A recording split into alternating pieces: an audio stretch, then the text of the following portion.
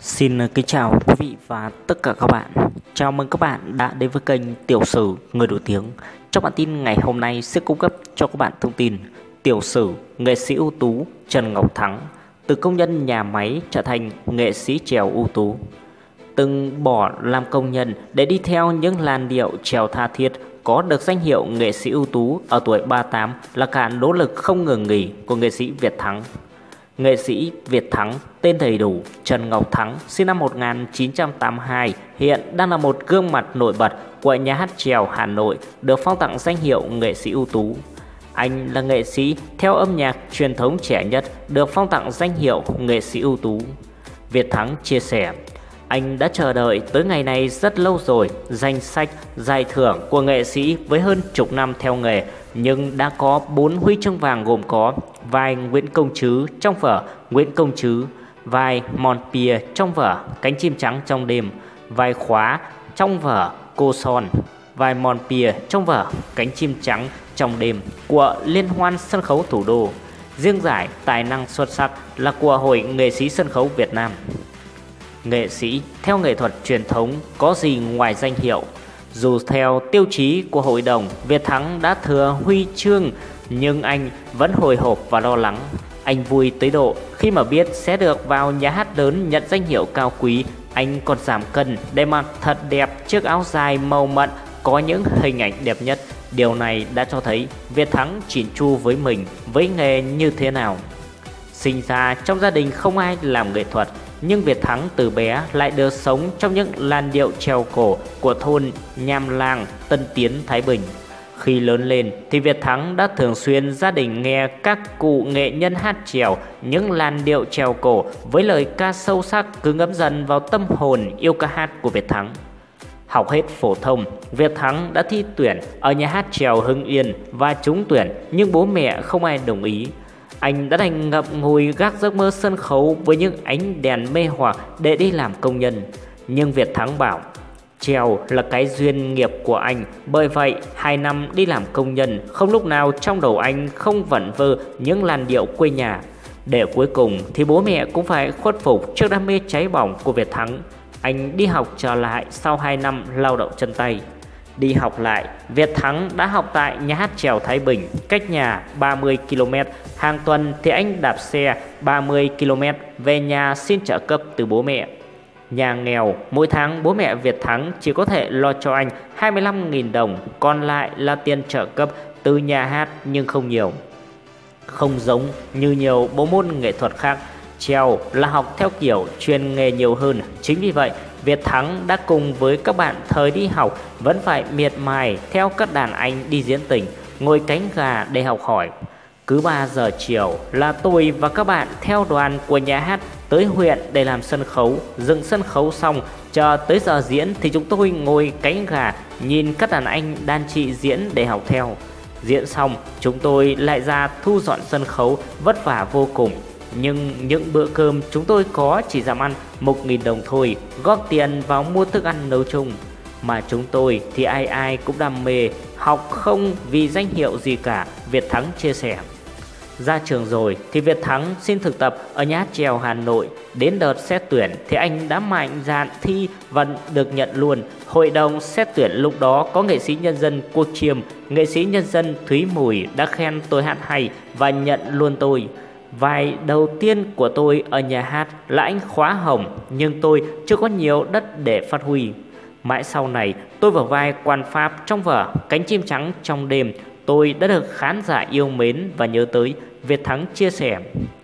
Nghề diễn đã cho Việt Thắng nhiều cơ hội tiếp xúc với nhiều người những môi trường khác nhau có những lời mời, lời khuyên anh chuyển sang dòng nhạc quê hương và cũng có những lời khuyên anh nên nam tiến nhưng Việt Thắng đều lắc đầu. Với anh, những làn điệu treo sâu sắc và thâm thúy không thể bỏ được. Nam nghệ sĩ đã chia sẻ, nếu ai đã chót theo đuổi treo rồi, khó mà có thể từ bỏ. Bởi từng câu, từng từ trong trèo nó như là thứ âm nhạc bác học vậy, vô cùng sâu sắc thâm thía. Tôi có thể hát dòng nhạc quê hương với mức thu nhập hơn hát trèo thật đó. Như đã nói, trèo đang ngấm vào máu thịt của tôi khó mà bỏ được. yêu nghề tới cháy bỏng là vậy Nhưng Việt Thắng vẫn thoáng buồn khi mà nghĩ về những dị nghị của dư luận mỗi khi xét thẳng danh hiệu nghệ sĩ nhân dân, nghệ sĩ ưu tú Anh bảo có người nói rằng nghệ sĩ nhân dân, nghệ sĩ ưu tú gì mà không ai biết tới là ai Nhưng Việt Thắng bảo nghệ sĩ theo nghệ thuật truyền thống thực sự không có gì ngoài niềm đam mê và đi theo tiếng gọi của khán giả khắp mọi miền tổ quốc, không vì cát xê cao hay thấp, là vì duy nhất đó là nhiệm vụ. Bởi tất cả những nghệ sĩ thuộc biên chế nhà hát nếu đã nhận sâu hát ở bên ngoài, nhưng khi nhà hát gọi về đi công tác vùng sâu vùng xa, cát xê ngoài có cao tới mấy thì cũng phải từ bỏ. Vậy họ đã phải đánh đổi nhiều thì việc được một danh hiệu chẳng phải là niềm an ủi lớn lao hay sao?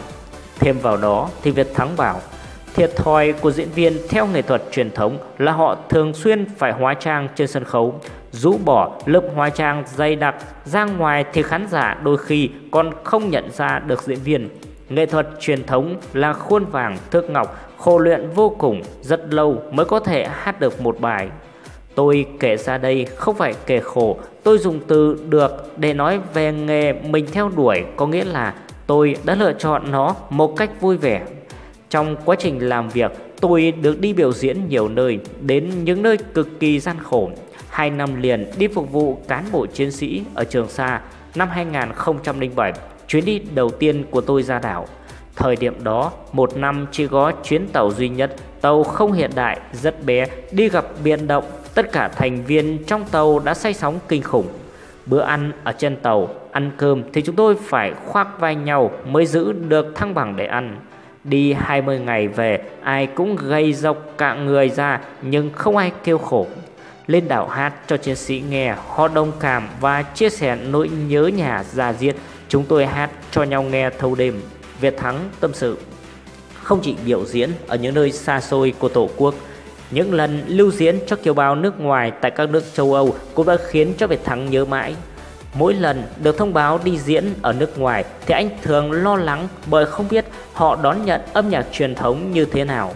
Việt Thắng đã phải chuẩn bị mấy bài nhạc trẻ để phòng thân, nhưng cuối cùng thì những người con xa xứ lại thiệt thà nghe điệu nhạc quê hương. Tôi hát trèo xong có cô tâm sự 20 năm mới được nghe trèo trực tiếp nên nhớ quê, nhớ nhà và rơi nước mắt. Lúc đó có bao nhiêu tiền trong túi cô đưa cho tôi hết. Có ít tiền Việt trong túi cô cũng lấy nốt cho tôi. Họ trân trọng nghệ sĩ thực thụ. Điều này đã tiếp sức cho tôi theo đuổi con đường âm nhạc của mình. Dù có khó khăn gian khổ Lang nghiệp mình phải theo Phải không ngừng cố gắng Việt Thắng chia sẻ. Có được như ngày hôm nay Ngoài nỗ lực của bản thân Việt Thắng bảo anh có một hậu phương vững chắc, một người vợ chăm lo các con, đối nội, đối ngoại trong gia đình để anh chuyên tâm theo nghề. Thành công này, danh hiệu lần này của anh có bóng dáng và sự hy sinh của người vợ. Lớn lên từ gốc lúa bờ tre, thành công có được cũng nhờ niềm yêu trèo tha thiết, Việt Thắng bảo. Danh hiệu không phải là cái đích cuối cùng mà nghệ sĩ hướng tới, nhưng danh hiệu lại khiến cho nghệ sĩ phải cố gắng, động lực thúc đẩy làm nghề sao cho xứng đáng với danh hiệu đó. Việt Thắng vẫn mãi một niềm tin, yêu nghề, nghề không phụ. Cảm ơn các bạn quan tâm theo dõi. Các bạn đừng quên bấm like, đăng ký kênh để ủng hộ chúng tôi.